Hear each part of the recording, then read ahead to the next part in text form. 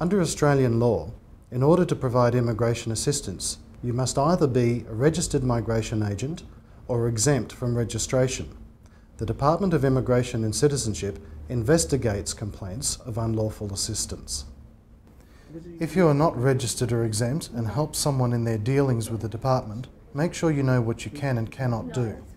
You can help with clerical work, translating or interpreting, advising someone they need a visa, or passing on information received from another source.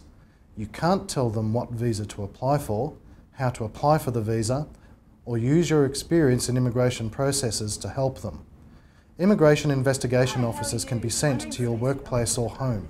Officers from the Federal Police can execute warrants to find evidence to be used for prosecution. If you are an unregistered migration agent in Australia, you're breaking the law.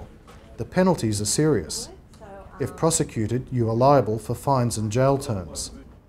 Advertising that you give immigration assistance, the penalty is up to two years imprisonment. Charging a fee or reward for providing immigration assistance, the penalty is up to 10 years imprisonment. Falsely representing that you are a registered migration agent, the penalty is up to two years imprisonment. And giving immigration assistance when you are not a registered agent, the penalty is up to $6,600. Unregistered agents can also be issued with on-the-spot fines. Failure to pay the fine could result in prosecution. Multiple fines can be issued to the same offender. Always ask an agent if they are registered with the Office of the MARA, that is, the Migration Agents Registration Authority. If you're unsure, you can check online at www.mara.gov.au. If you use an unregistered person and they submit false documents with your application, you could have your visa cancelled and ultimately be removed from Australia involuntarily. If you know of someone who is operating illegally as an unregistered migration agent, or if you are a victim, report it to the department.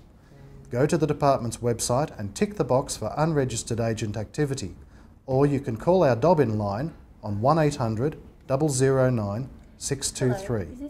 Department of Immigration?